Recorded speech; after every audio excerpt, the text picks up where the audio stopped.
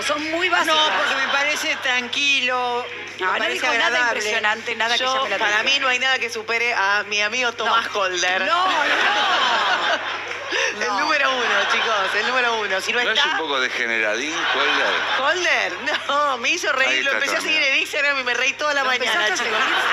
No, bueno. Tiene un bigotito raro, finito. Me escribí y me respondió. No, Te sale con alguna cosa rara. Ah, no, Holder el es lo peor que tiene el verano. Para, Sí, no, no, ojalá fuera solo el verás. ¿por Este, qué le pero bueno. escribiste? ¿Qué le escribiste? Le escribí a Holder. Sí, Dejá de molestar. cosa di- Ya Le escribí y me respondió. Ay, que te Te pusiste amo. cholula Ay, ahora. qué Holder. Cholula de Le escribí. Es una vergüenza, Le mandé un ¿verdad? audio y él me Ay, respondió. a ver, lo voy a buscar. Querés Voy a sacar colgar de sus pectorales. Sí, ¿Cómo ella es? quiere que la sigan sus ¿Está mal? ¿Cómo te gusta lo es que hacen de felicidad, galán? mi amor, no hay que juzgar.